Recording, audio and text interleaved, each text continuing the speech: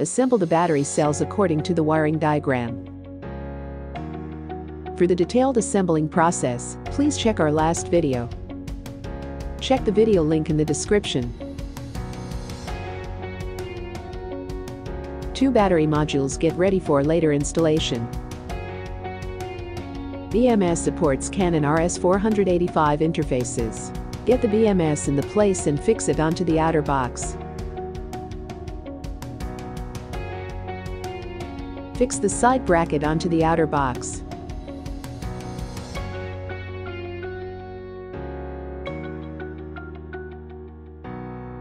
Put the battery modules into the box carefully.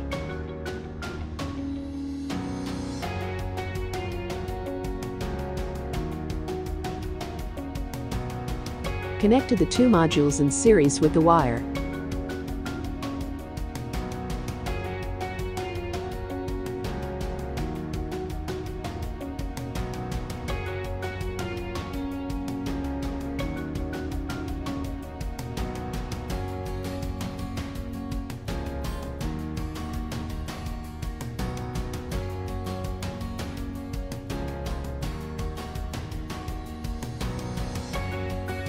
Then, connect the BMS negative wire to the battery pack main cathode.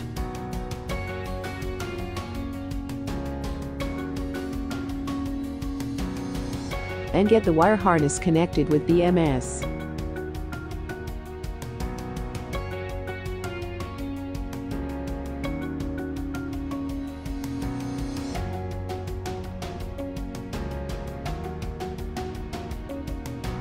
Tighten the bottom screws respectively.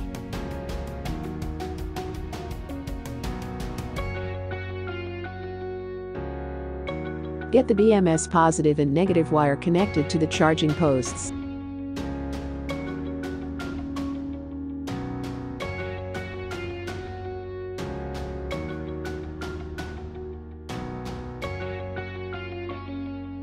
Connect the BMS positive wire to the battery pack main anode.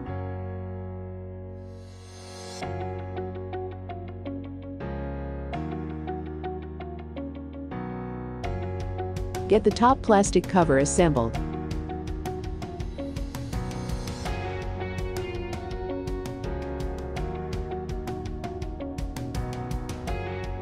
Connect the display with BMS.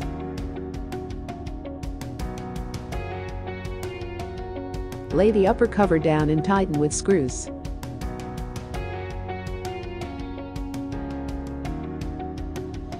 Press the reset button to power on the battery pack the LCD screen lightens correspondingly. Press the confirm button to check the battery pack total voltage, current flow, SOC status, and warning status. Press down button to check the individual cell voltage.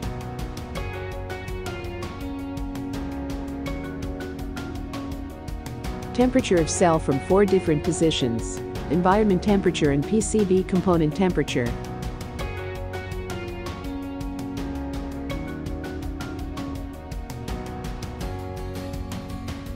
Warning status.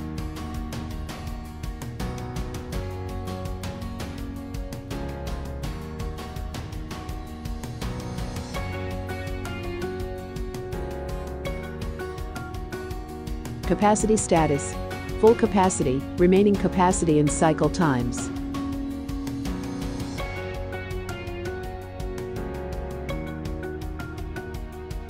Install the mounting rack rail on battery pack.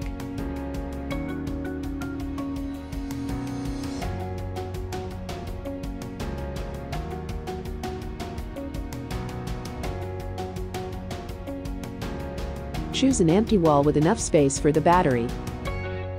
Place a spirit level on the bracket to keep it horizontal. Mark the screw hole positions with a marker pen. Place the tip of your bit in the marked position and drill into the wall, make sure to keep the bit straight.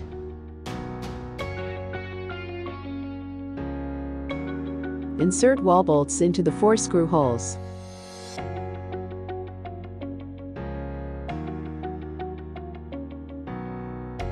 Place the mounting bracket in the place and fix with screws.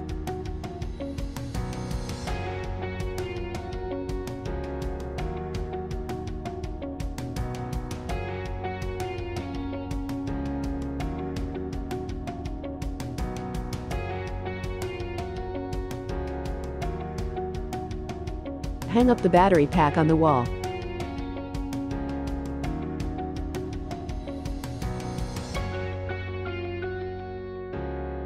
And hang up the Growatt inverter as well.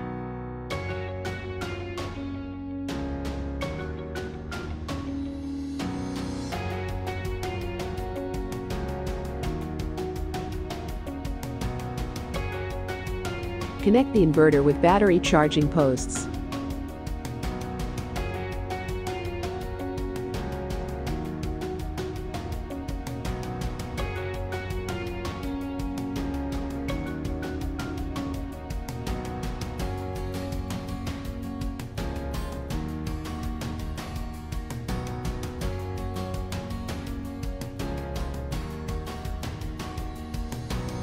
Connect with loads.